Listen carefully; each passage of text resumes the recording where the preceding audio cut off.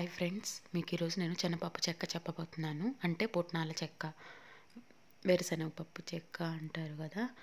అవి మిక్సీలో వేసుకొని ఫస్ట్ వాటిని మిక్సీ పట్టుకోవాలి బాగా మెత్తగా పట్టుకోవాలి. గ్రైండ్ చేసుకున్న తర్వాత ఒక గిన్నెలో షుగర్ వేసేసుకొని అందులో ఒక గ్లాస్ కూడా అవసరం లేదండి. అంటే నేను తొందరగా పాకం రావాలని చెప్పేసి తక్కువ వాటర్ పోసాను. ఒక చూపించే గ్లాస్లో ఒక హాఫ్ తర్వాత మళ్ళీ నేను కొంచెం యాడ్ చేశాను ఎక్స్ట్రా. అవే కాకుండా ఇంకా కొంచెం ఎక్స్ట్రా యాడ్ చేశాను నేను. అంటే ఒక హాఫ్ గ్లాస్ అనమాట ఇది ఎప్పుడైనా సరే పుట్నాల పప్పు చెక్క అనేది షుగరు ఒక కప్పు ఒక కప్పు షుగర్ తీసుకున్నాం అనుకోండి. ఒక కప్పు కన్నా ఎక్కువ కొంచెం పుట్నాల పప్పు పొడి కావాలి. షుగరు పుట్నాల పప్పు రెండు ఒకే క్వాంటిటీలో తీసుకోవద్దు.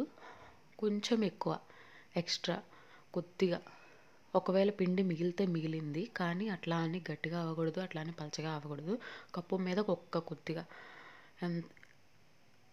ఒక కొంచెం ఎక్కువ అయితే సరిపోతుంది. మీరు చూసుకోండి.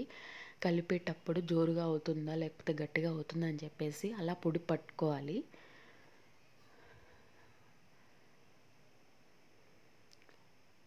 ఒక్క తీగ పాకం వచ్చేంత వరకు అండి ఈ లోపు ప్లేట్లో మనము నెయ్యి అనేది యాడ్ చేసుకోవాలి. నెయ్యి యాడ్ చేసుకొని వాటి మీద కలపాలి. దాన్ని ఒక ప్లేట్లో నెయ్యి నెయ్యి వేసి దాన్ని ప్లేట్ మొత్తం స్ప్రెడ్ చేయాలి. ఈ పాకం అనేది తీగ పాకం వస్తే చాలండి. అంటే ఒక వన్ స్ట్రింగ్ వస్తే చాలు.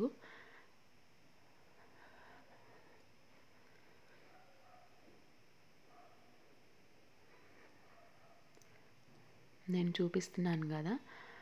వన్ స్ట్రింగ్ అంటే వన్ స్ట్రింగ్ వచ్చేంత వరకు చాలు. తెగ పాకం వస్తే చాలు. తర్వాత ఆ పుట్నాల పొడిని ఐ మీన్ శనగపప్పు పొడిని దాంట్లో వేసేసి తర్వాత ప్లేట్లో వేసి ఒక్క పావు గంట వరకు ఒక పావు గంట అరగంట వరకు ఉంచితే తర్వాత చక్కగా ముక్కలు వస్తాయి.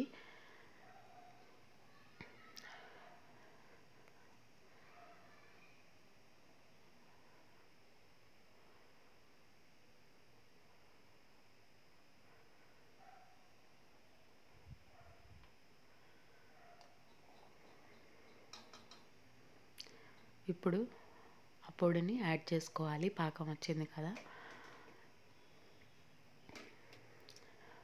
యాడ్ చేసుకున్న తర్వాత ఒక ప్లేట్లో వేసుకోవాలి.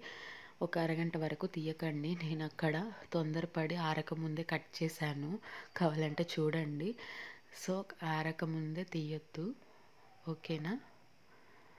Thank you friends. Thank you for watching. Please subscribe my channel. Please support me.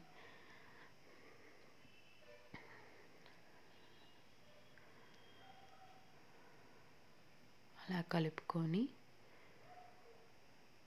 ఒక అరగంట ఉంచాలి. ఒక అరగంట అయినా చల్లారితే. Thank you